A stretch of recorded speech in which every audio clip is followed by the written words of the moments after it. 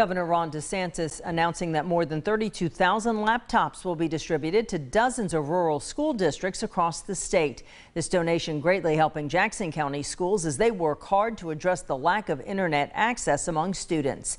News 13's Faith Graham tells us how the county is handling remote learning and the digital divide. Distance learning will soon be a little bit easier for some students in the Panhandle. Uh, collectively, across all of our 14 districts, uh, we're expecting over 10,000 Chromebooks. The generous donation all in an effort to help rural students who lack access to the internet. This gift of, of the Chromebooks uh, will make it possible to, for students to really maximize their learning while at home.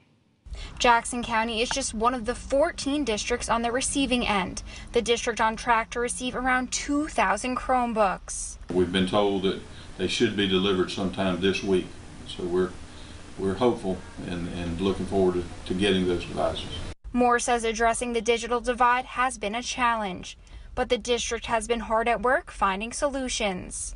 This week, the district announced students can visit 15 sites around the county for free Wi Fi. They can drive up to the school and, and sit in a parking lot with their device and, and log on to our Wi-Fi just as if they were in a classroom.